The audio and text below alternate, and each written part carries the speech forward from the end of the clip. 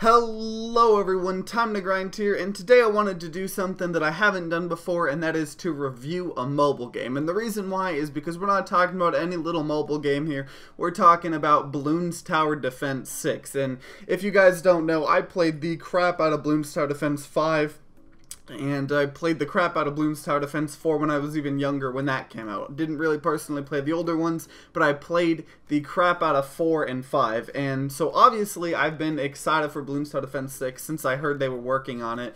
Um, it's kind of been like a joke in my friend group how I always talk about, oh, is Bloons Tower Defense 6 out yet? And it is out. And so I decided, eh, whatever, I'll, you know, give it a good old little review here uh, on my channel because, you know, although it is a mobile game, um, hopefully at some point it'll come to Steam in the next couple of months like Bloons Tower Defense 5 did. Um, but, you know, it's a quality game. Just because it's on mobile doesn't automatically make it the worst game ever. Uh, it is a good, good game. Um, and one thing I want to right off the bat say, because I know a lot of people, especially in like the um, mobile gaming, the people that play a lot of mobile games, uh, one thing they don't like seeing is um, when a game costs money. So Bloons Tower Defense 6 costs five dollars, and then it has in-app purchases. And um, Bloons Tower Defense 6 has that. Unfortunately, it has what pretty much it was in Bloons Tower Defense 5. You have like the monkey cash with the single use powers that you can use and buy. And um, I personally think it's cheating. So even I, I, refuse to use any of them. So I mean, sometimes you can buy for like $7 a random.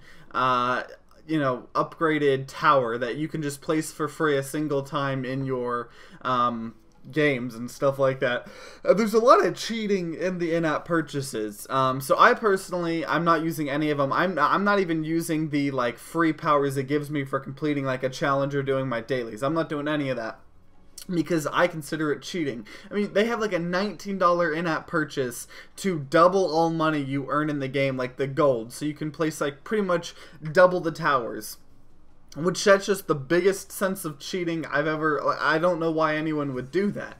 Um, you can buy the powers that give you cash drops at the beginning of the game and all of this stuff, and it's it's it's exhausting. You know, when you're leveling up your towers with XP, if you click a button, it's like oh seven dollars to uh, automatically upgrade this entire monkey path tree. You know. Um, and it does feel like it's begging for money constantly, which doesn't feel good. It doesn't really um, sit well with me. Um, but the core gameplay itself is so good that I can, um, and I still want to, you know, I, I, played the game, I bought the game, I played the game, and I just ignore all of those in-app purchases because I consider them cheating and I want to play the game itself. And I don't know if this is just me having played Bloons in a while, but this game definitely seems a lot harder to me than the older games. I'm not 100% why, um, but it just feels that way. But overall, what they did, if you played Bloons Tower Defense 5 and you kind of know how it works, um, you know, sit with me for a little bit because I'm just going to explain a tiny bit. But it is a tower defense game. It's, in my opinion, one of the best tower defense franchises.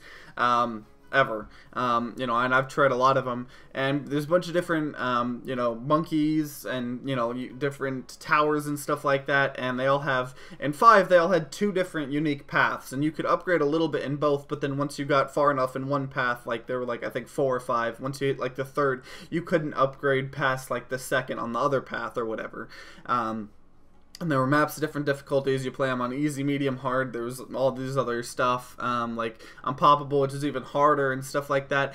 And uh, Bloons Tower Defense 6 adds a lot. Um, first of all, every single tower has three upgrade paths, which you can only go in at two at a time, but it makes it really unique because I might have, say, two um, wizard monkeys because and have them completely different upgrade paths for different purposes.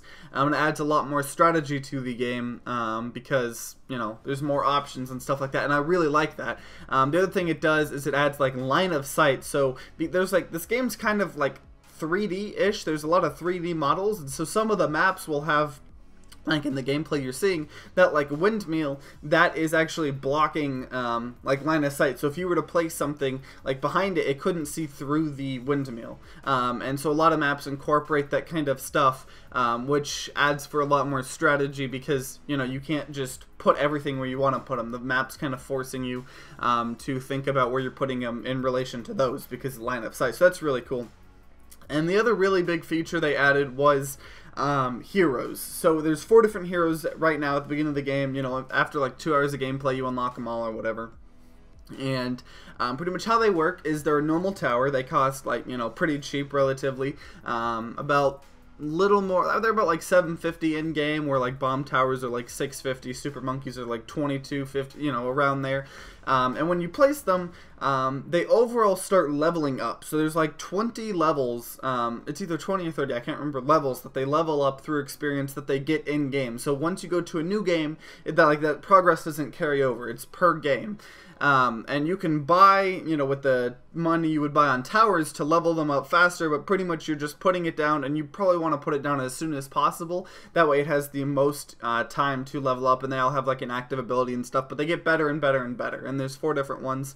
Um, so the one I'm using in this is like, I think called Quincy, and it's like a bow and arrow one, but it's pretty cool because it can, uh, once it levels up a little bit, detect camo and lead. So um, that's pretty nice. So that adds a lot of strategy because um, you know picking which hero for which map and for what strategies you're trying to do adds a lot and that's really really cool.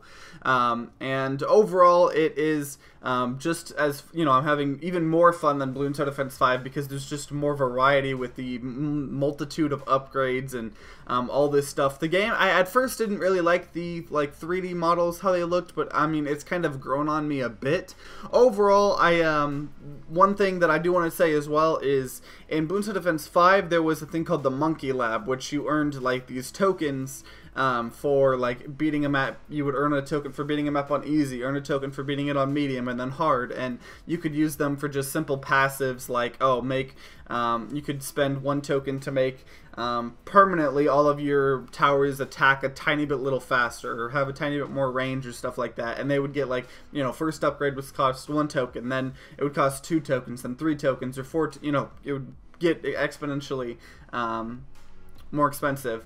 And in this game, it doesn't have the Monkey Lab. Instead, it has, once you get to level 30, um, and I'll show it a little bit here, there's like a tome kind of skill tree. So there's all these different skill trees, and every time you would level up past 30, you get like a tome, and uh, you can use it to put something in the perk tree. So I just started leveling up all of everything in the hero. So you know they attack faster, longer range. I think they start at level three instead of level one, so that's really nice boost and stuff like that.